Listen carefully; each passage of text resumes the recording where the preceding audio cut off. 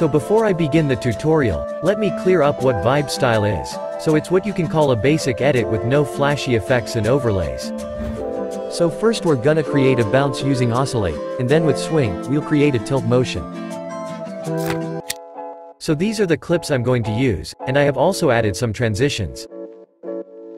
And I forgot to tell you that you'll need a really smooth twixtor if you're editing on Vibe Style. This is the curve I'm using for in transition, and this for out. So start by adding tile effect.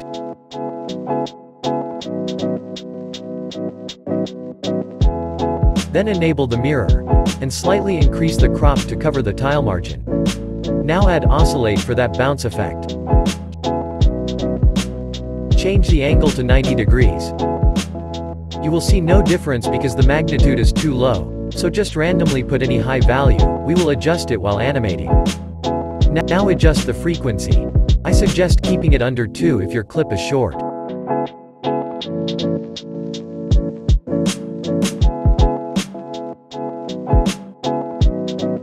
Finally animate the magnitude. And don't copy my values, I'm just randomly putting numbers. And for And for the graph, you can use this. Now your bounce will be almost done, but you can also adjust the phase. And those who don't know how it works, let me show you. So here you can see the shake is starting from this direction, and if I change the phase, it will start from this direction. Now add swing in your clip. So first animate the frequency and adjust the angle.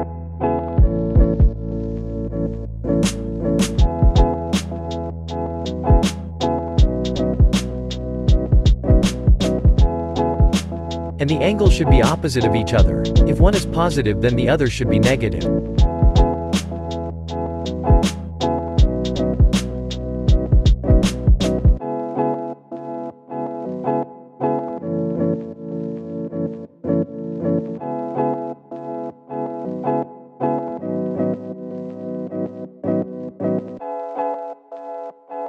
You can also use three keyframes, if you want more tilt movement.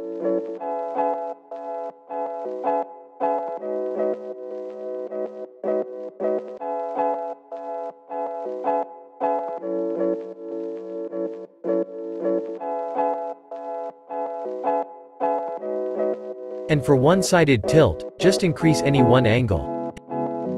Here I was trying to make an impact shake, but it didn't turn out like I thought. But anyway if you guys want a tutorial from me, feel free to comment on it.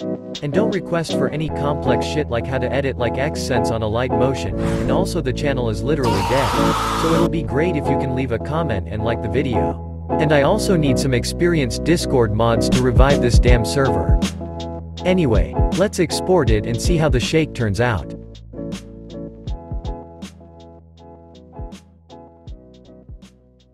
I guess the magnitude is little too high but the shake doesn't look that bad. So that's all for this video.